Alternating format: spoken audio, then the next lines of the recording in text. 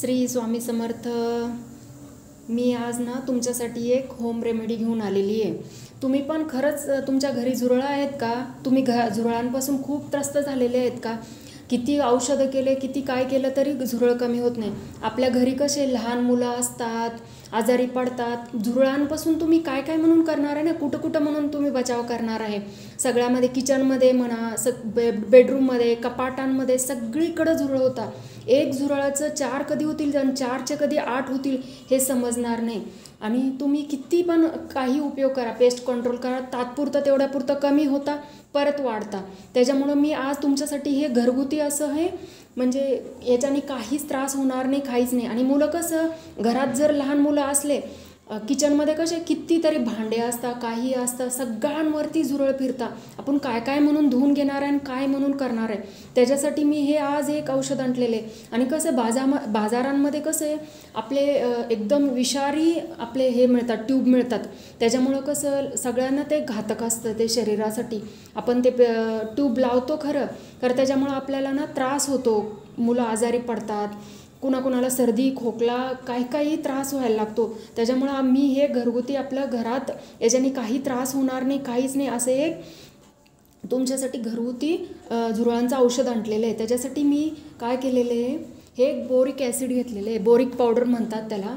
प्रमाण तेवढंच घ्यायचं. एक वाटी जर बोरिक पावडर घेतली हे बघा. ही बोरिक पावडर घेतलेली आहे मी बोरिक ॲसिड. तेवढंच आपलं हे साखर घेतलेली आहे आपली. आपली चहामध्ये टाकतो ना ती जाडसर साखर घेतली आणि तेवढंच आपलं गव्हाचं पीठ घेतलेलं आहे.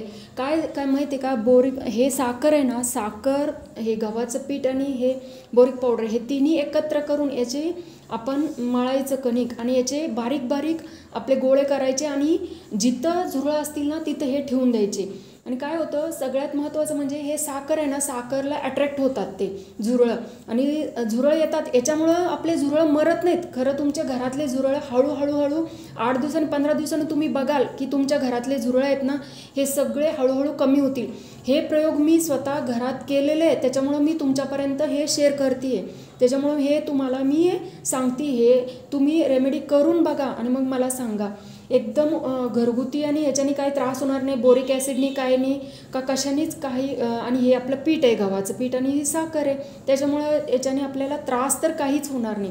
आता मी काय करते हे तिन्ही एकत्र करून घेते आणि याला आपलं पाण्याने कणिक मळून घेते. का म्हणजे गहू पीठ का बरं करायचं टाकायचं बाइंडिंग यायसाठी आणि साखरेमुळं आपले साखराच्या ह्याच्यानी ना आपले हे जवळ येतात झुरळं. आणि ते त्याच्या ह्याच्यानी ना लांब पळून जातात. याच्याने झुरळं मरत नाहीत खरं. तुमच्या घरातून बघा तुम्ही थोड्या दिवसाने आठ पंधरा दिवसाने हळूहळू तुमचे झुरळं आहेत ना कमी होतील. आता मी काय करते हळूहळू थोडं थोडंसं पाणी टाकून ना याचा गोळा मळून घेते. आपलं कणिक कशी मळतो ना तशी मळून घ्यायचं.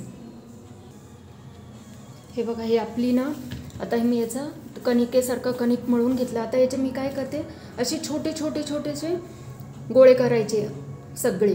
आणि तुमच्या घरामध्ये जिथं आलमा म्हणजे कपाट असेल कपाटांमध्ये झुरळ होता आणि झुरळांनी जर अंडे जर टाकले तर त्या अंड्यांचं इतके पसरतात खूप अंडे होतात आणि ते अंडे बघायला पण आपल्याला कसं तरी होतं किळस येते एकदम.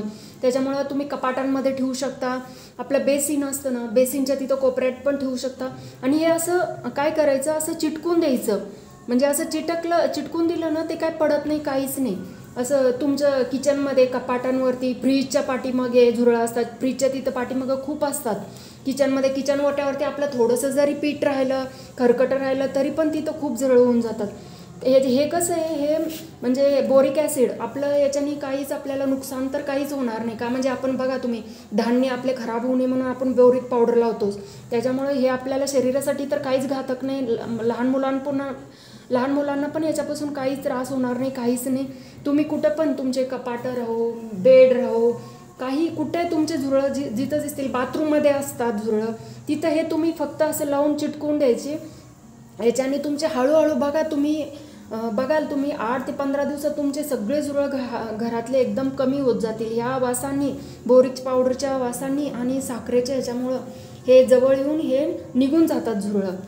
त्याच्यामुळं हा हे बघा तुम्ही प्रयोग करून बघा आणि मग मला सांगा. माझी रेमेडी जर तुम्हाला आवडली असेल प्लीज लाईक करा शेअर करा आणि सबस्क्राईब करा. धन्यवाद!